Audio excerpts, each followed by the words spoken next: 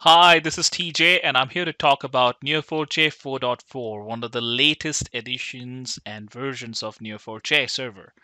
Okay, so today we're going to talk about two features, call-in transactions and Cloud Native API HTTPV. Ready to go?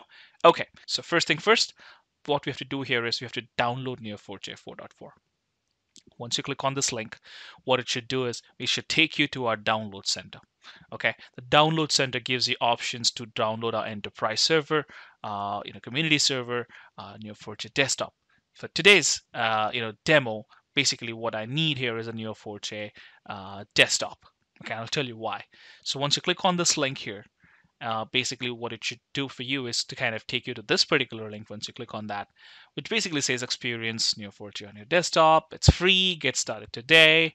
Uh, basically, why is, is because of the fact that it comes with a Neo4j enterprise server with a developer license, right? So you can try all the enterprise features in non-production environment with a developer license. Simple.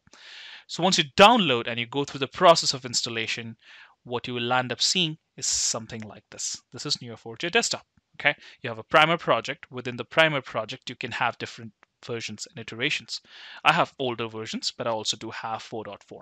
Okay, that's what I need for today's demo, right? For call-in transactions and uh, Cloud Native API, because uh, they are dependent on this particular version. They are the new new features for this particular uh, version release.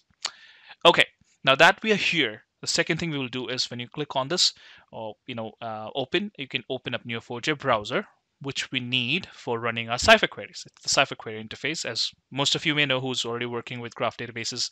Others who don't know, basically this is like a query playground where you actually query the database.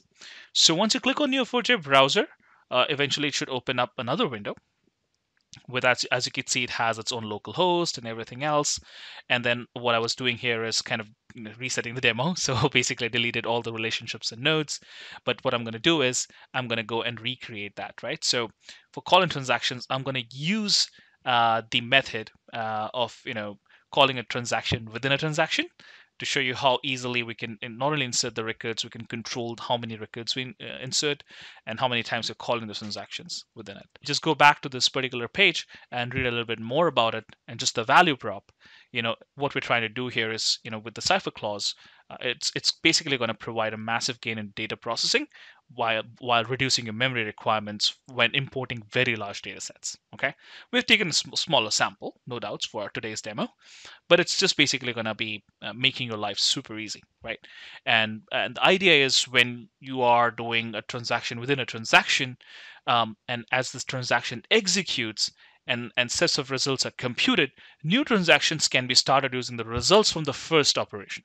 So you know, basically, it's sort of a chain, right? Um, that how that's how powerful this feature is. So for me, I'm gonna go come here and copy this as is so that I can show you the code works on the page. Um, and then come here and then just pretty much uh, paste it. So what we're doing here is we are loading it from a CSV uh, file, some data, uh, which kind of uh, has world cities information, right? So that's where it's stored.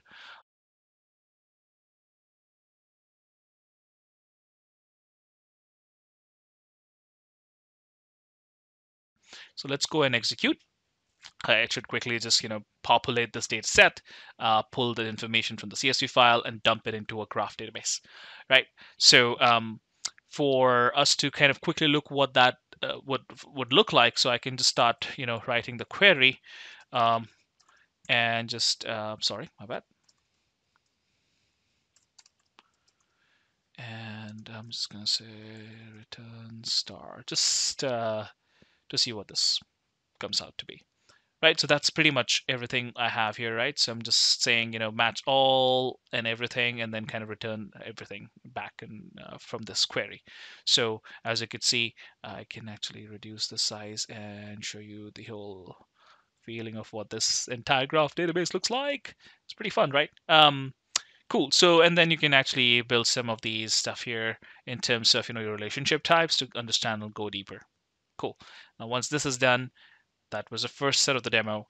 The second piece of the demo, we're going to use the same data set, but we wouldn't be using browser. I want to show you how Cloud Native API really works. So Cloud Native API or HTTP v2, let's go back to this guy. what it really does for you is you just don't know uh, or don't uh, need anymore um, a middleware or a language driver to communicate between your application and your Neo4j server, right? Simple, very very simple, but it was extremely important for us to have using you know basically a server-side routing, and it simplifies the developer experience uh, in the cloud and helps accelerate application development uh, because you don't anymore have to understand Bolt protocol or routing tables and beyond. Right to Postman, create a new request, uh, as and just you know have it as a post certainly. Which I have. What I'm doing here is I'm just using this as uh, the connection string because that's where my local host uh, or my server is running right on that particular port. Uh, and then authorization, I'm just going to go change this to basic auth. And uh, this part is taken care of. We just need to kind of now go to the body and change it to look nice and neat with the JSON. And I'm just going to go and now pull up a Cypher query, right? So exactly what I said, that we won't be using any language driver, any moderators, nothing in between, just the uh, API call back into the system to get you the information you need, right? So uh, let's go ahead and do that. I think we're good here. And I guess, uh, let me explain the query though while I'm here. So what we're doing here is we're kind of matching um, information of a specific city, uh, certain countries, where the city population is not null. And it's basically going to return the country name, city name, city location, city population, and it'll order it by the city population descending unlimited by three. Pretty simple query uh, from a Cypher perspective. We're good to go. When I run this, that's pretty much it. Super simple. And we got our results in no time, which is awesome. But we also got the, the information we needed. So that's pretty much it, you know. And then um, those are two features for today. I'll, I'll talk more about the other features and show you a demo of it. Uh, but uh, for now, uh, listen to this video for the rest of the features. And I hope you liked this demo and you would try Neo4j 4.4. Until then, we'll, we'll talk soon. Neo4j Graph Database empowers developers by providing them with full control over how their applications interact with the database, including robust data pipelines, machine learning and AI, streaming data from sources like Kafka, and more. Neo4j's high performance distributed cluster architecture scales with your data and your business needs in real world situations. With Neo4j 4.4, the latest version release of Neo4j Graph Database comes with significant feature additions. This new Cypher clause provides a massive gain in data processing and reduces memory requirements when importing very large data sets by enabling developers to start one or more transactions from within a transaction. Connect to Neo4j using Cloud Native API and simplified routing without middleware or use of language drivers. Scale, swap, and upgrade graph applications without any downtime with remote database and database alias commands achieve significantly faster text-based matches and benefit from data import and runtime queries. Take advantage of cutting-edge Apple Silicon using Docker images with official support for ARM. Users can now authenticate with cloud-based identity providers. With Neo4j, you can achieve a robust transactional guarantee, high performance across trillions of relationships, and millions of hops per second.